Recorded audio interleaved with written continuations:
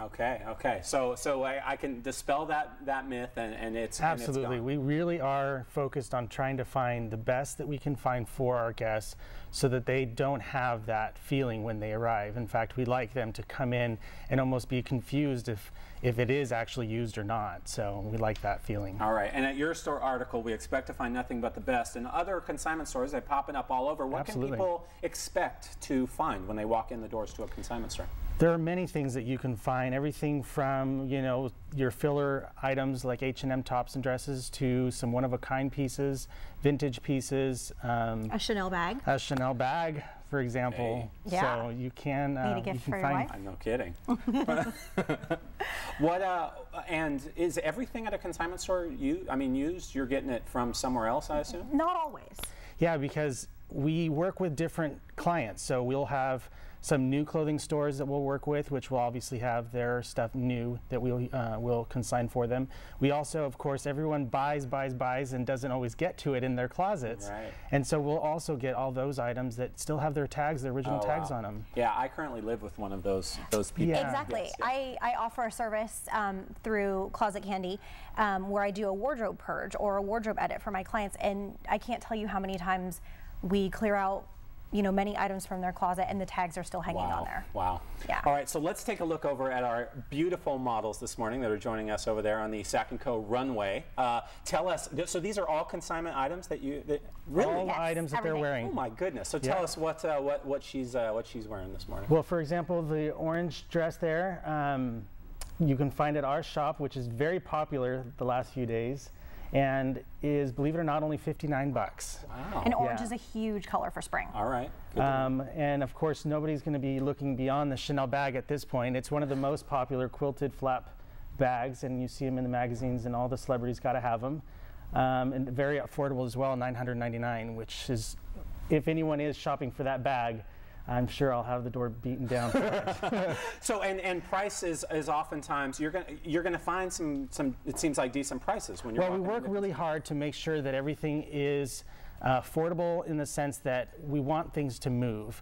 Okay. And so we're not going to give it away, but at the same time, we don't want to be unrealistic. Okay. And so that's why we price things at a certain point. We have our next uh, y- dashing young young Yeah. gentleman over there uh, showing off. So this is also consignment wear. It is um, the Puma um, Neil Barrett set there, the top jacket and pants, and that's um, a Bottega Veneta bag, carry-on bag there.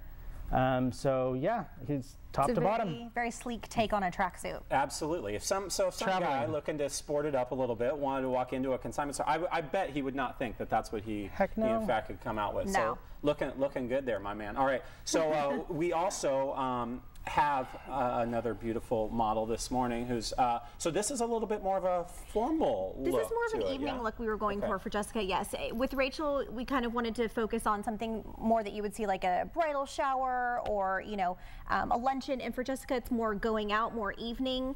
Um, we played it up with the kind of vintage inspired, really sexy black dress and the clutch and you know, and all those pieces can be used again with other things.